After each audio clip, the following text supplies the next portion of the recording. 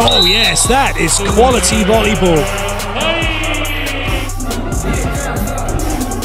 Running an inside 10, so the slide all the way out and then coming just in on the angle to act. Caracord with the full jump serve that time. Haven't seen that yet today. Rahate is having a fantastic day in defence. Cross, cross court, and Tandara that time hit a couple into the blocker's hands. That time she got past double sub.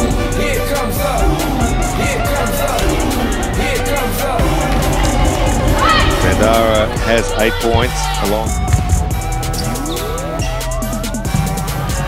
Will have to be a good set from the libero. Macris defends. Tandara hits! Oh, and that is an exocet. Laser guided to perfection. Into the corner. Just look where this lands.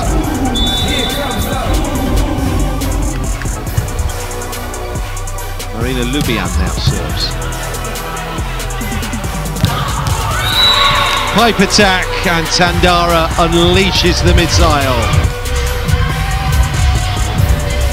They all split. They all. You, the outside hitter. Good pick up and to leave it open. And then the, the pipe attack from Tandara. Reception, the set, and then Tandara. She's done that many.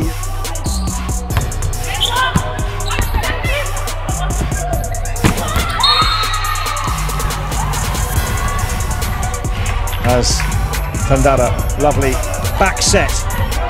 A lot to change her team's fortunes. Great serve from Unal.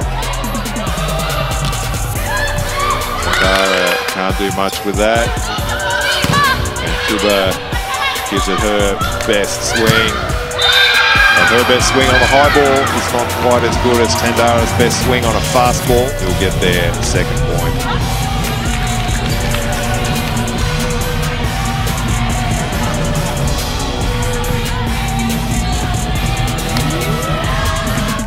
Trevniuk's free ball that led to that point and her opportunity to serve.